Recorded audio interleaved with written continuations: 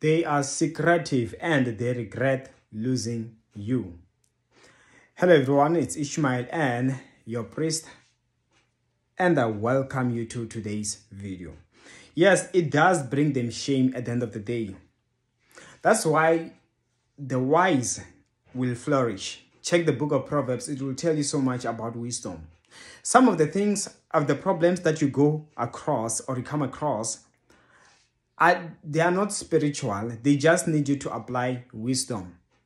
And some people, if you don't have wisdom, you perish. The Bible says, My people are perishing for lack of knowledge. You see how simple it is? Just because I did not know, they did not know, then you perish. Just like that. Had you known.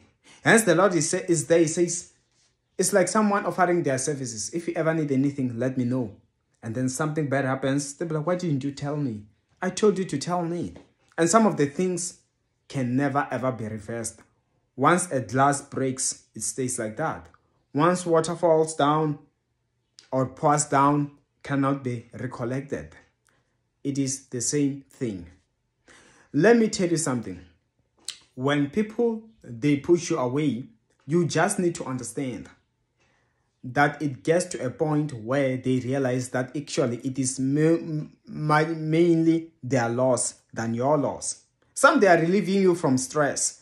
Some they are relieving you from, uh, a, like what is this, a burden. But you were caring because the Lord instructed you to.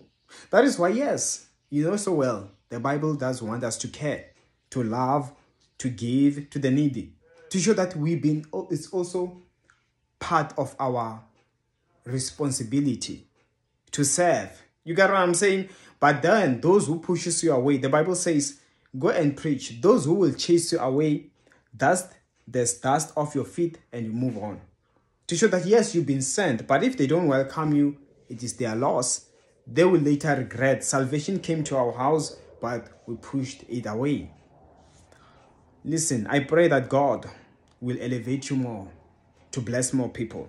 Those that push you away, may they live to regret. May the Lord bless you more. In fact, the more you are rejected, the more blessed you are. I pray in Jesus' name. Amen. And of course, you can also book an appointment with me. My details are in the comment section below. See you next time.